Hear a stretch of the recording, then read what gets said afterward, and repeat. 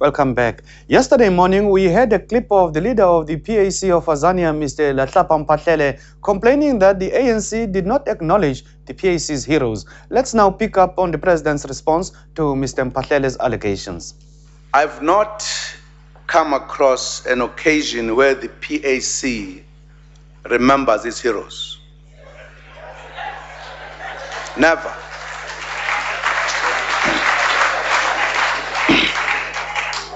And, and, and it will be very important, to be very important for my good comrade if he would want to make an application for the ANC to celebrate the heroes, to do so, including the battles that he was quoting that were fought in Mozambique. It is the PAC that must tell the country what it did during the struggle.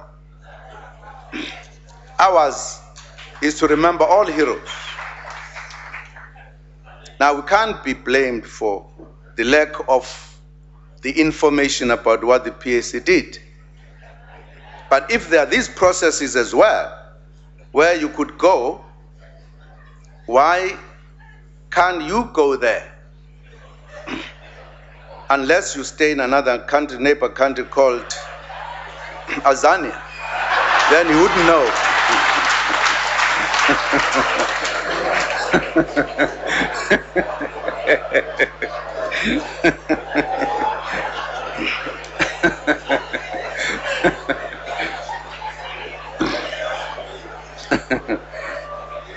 you wouldn't know what happens in South Africa unless you have the phone numbers of these institutions. Recent efforts by the South African government to have Home Affairs Minister Nkosazana Dlamini Zuma elected as chairperson of the African Union Commission was not successful, but that does not mean it was the end of it. President Zuma told the National Assembly that government with the support of SADC was indeed determined to change the leadership of the African Union Commission. Since the formation in May 1963 of the Organization of African Unity, the SADC region has never been represented in the continental body at the level of chairperson of the commission. Secondly, South Africa has never before made an attempt of holding this position.